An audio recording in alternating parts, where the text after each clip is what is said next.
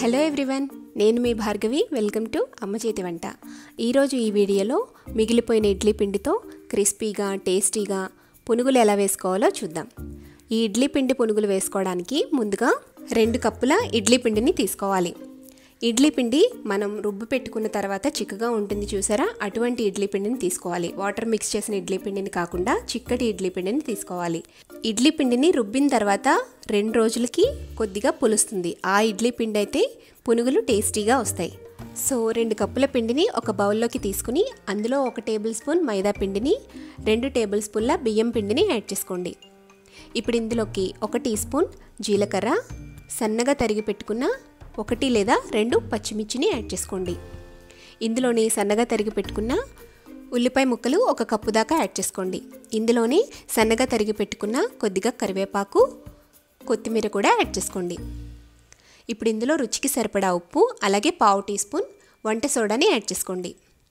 వీటన్నిటిని కూడా బాగా మిక్స్ చేసుకోండి. అంత కలిసేటట్టుగా పిండిని బాగా కలుపుకోండి. ఇందులో తిరిగి మనం వాటర్ ఏమీ యాడ్ చేయని అవసరం లేదు.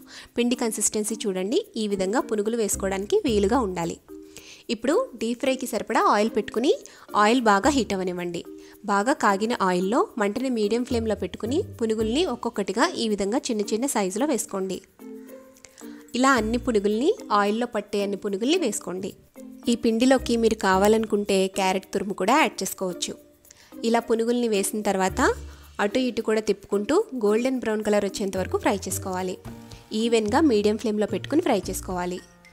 హై ఫ్లేమ్లో పెట్టేస్తే పునుగులు మధ్యలో వేగవు లో ఫ్లేమ్లో పెడితే పునుగులు ఆయిల్ని పీల్చేస్తాయి. సో అందుకని మీడియం ఫ్లేమ్లో పెట్టుకుని ఈ విధంగా చక్కగా వేయించుకుని క్రిస్పీగా తయారైన తర్వాత ఒక బౌల్లోకి ట్రాన్స్ఫర్ చేసుకోండి. ఇదే విధంగా అన్ని పునుగుల్ని కూడా వేసుకుని ఫ్రై చేసుకోండి.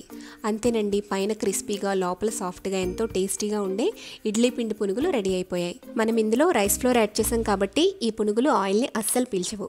ఈ పునుగుల్ని టమాటా చట్నీ కానీ కొబ్బరి చట్నీతో కానీ తీసుకుంటే చాలా టేస్టీగా ఉంటాయి. ఈ ఇడ్లీ పిండి పునుగుల్ని మీరు కూడా ఇంట్లో ట్రై చేసి మీ ఫీడ్బ్యాక్ని నాకు కామెంట్ చేయండి. ఈ వీడియో నచ్చితే లైక్ చేసి సబ్స్క్రైబ్ చేసి షేర్ చేయండి.